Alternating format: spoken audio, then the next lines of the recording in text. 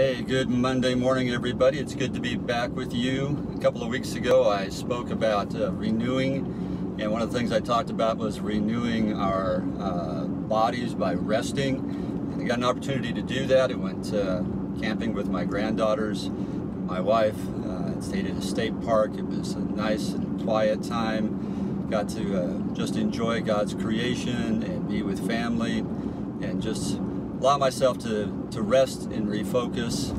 Uh, and I, I think, you know, you need those times in life to prepare you, uh, especially if you want to follow through with what we talked about just yesterday, and that was remaining in Christ.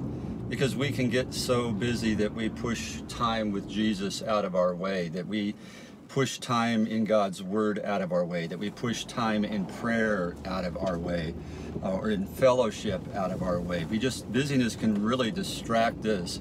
It can take away our rest, it can keep us away from God. And I would just want to encourage you today to remain in Christ by truly focusing on those things that are important that we spoke about yesterday.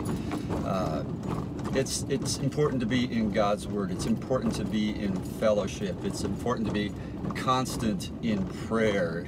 Uh, it's so so very very important to be in service to God. To just do those things that draw you closer, and to do exactly what I did, and that was to go out and enjoy God's creation. Uh, and just give him the glory for the wonder that he has. So today, just want to encourage you take time to renew, but take time to remain as well so that you can grow stronger and grow deeper in your relationship with God. God bless you. Have a great day. Talk to you tomorrow.